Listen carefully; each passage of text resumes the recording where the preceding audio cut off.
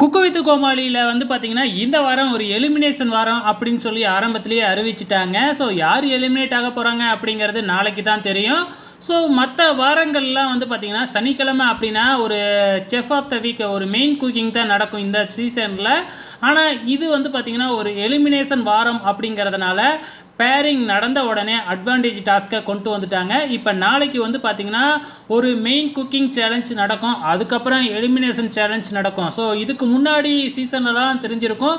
அதே மாதிரி தாங்க இந்த வாரம் நடந்திருக்கு.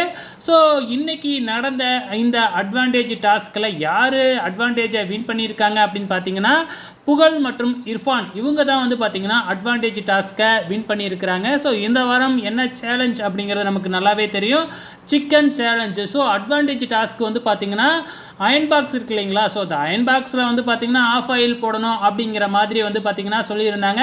ஸோ மற்ற வாரங்களை காட்டிலும் இந்த வாரம் கொஞ்சம் இன்ட்ரெஸ்டிங்காக தாங்க இருந்துச்சு. ஸோ நிறையவே வந்து பார்த்தீங்கன்னா ப்ரொடக்ஷன் டீமில் வந்து செலவு பண்ணுறாங்க அப்படிங்கிறது நல்லாவே தெரியுது. ஸோ முட்டை எடுத்துகிட்டு வர்றது கூட வந்து பார்த்தீங்கன்னா ஒரு கோழி பண்ணை மாதிரி செட்லாம் போட்டு டோக்கன் எடுக்கு எடுத்துக்கிட்டு வர வச்சு எத்தனை டோக்கன் எடுத்திருக்காங்களோ அந்த டோ அத்தனை டோக்கனுக்கு ஏற்ற மாதிரி முட்டை கொடுத்து ஸோ ரொம்பவுமே சூப்பராகவே கலாட்டாகவே பண்ணியிருக்கிறாங்க. ஸோ இன்னிய எபிசோடு எனக்கு ரொம்பவுமே பிடிச்சிருந்ததுங்க. ஓகே ஃப்ரெண்ட்ஸ் நாளைக்கு யாரெல்லாம் வந்து பார்த்தீங்கன்னா அந்த எலிமினேஷன் சேலஞ்சுக்கு போக போகிறாங்க அப்படிங்கிறத பொறுத்திருந்து பார்க்கலாம்.